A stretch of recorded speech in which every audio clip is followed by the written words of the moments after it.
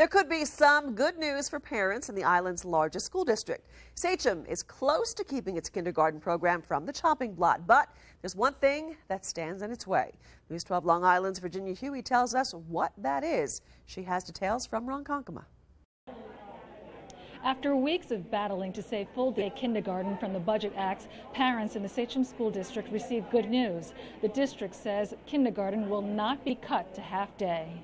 And I'm very happy to tell you that we will have full day kindergarten next year. You're listening to the sound of victory. These parents fought for weeks to save full day kindergarten. Tonight, they learn the state will send the money needed to keep full day kindergarten in Sachem. Uh, Senator Flanagan, uh, Senator Zeldin, Senator Boyle actually were able to uh, restore okay, about $350,000 in, in additional aid. Um, to bring the total to about 650,000. The district says the rest of the money needed to cover the 1.2 million dollars to save full-day kindergarten will come from various grants. Sachem School Board had proposed cutting kindergarten to half day because its proposed budget was rejected last month. The district failed to get the 60% of the vote necessary to approve the 7.5% increase. But as News 12 Long Island reported last week, dozens of pint-sized protesters and their parents rallied to save full-day kindergarten from the Budget Acts.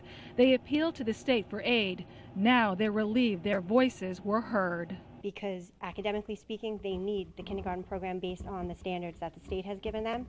And without it, I felt that they would be deficient, as did many of the parents. If you fight for something you believe in and that is important enough, that you can make it happen. But there's a catch. The district says the state will only send the aid if the new 3.14% budget proposal is approved on June 18th. If voters reject that budget, the district would be forced to make major cuts, including kindergarten. We need to, you know, put our vote where our values are and putting our children first.